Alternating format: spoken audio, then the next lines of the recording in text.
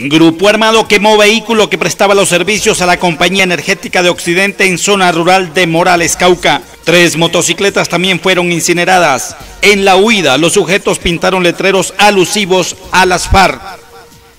En el corregimiento del Carmelo Cajibío, jornada lúdico-recreativa para integrantes del grupo Amistad de la Tercera Edad, organizado por la Administración Municipal. En el estrecho Patía, policía rescató Águila, un joven la llevaba atada a sus extremidades en una caja de color azul. El ave silvestre que será liberada tiene un costo en el mercado negro por más de 25 millones de pesos. 100 kilos de marihuana fueron incautados por la Policía Nacional en la vía Popayán-Cali. Una mujer fue capturada.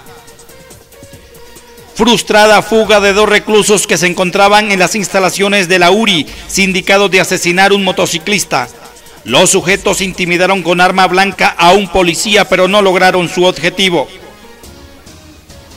Comunidad Afro en Popayán salieron a las calles en apoyo a sus coterráneos en Buenaventura. Más de seis equinos que deambulaban por calles de Popayán en malas condiciones serán trasladados al Centro de Bienestar Animal para iniciar programa de diagnóstico y posterior recuperación. La jornada la desarrolla el área de sognosis de la Secretaría de Salud Municipal de Popayán, atendiendo la denuncia ciudadana.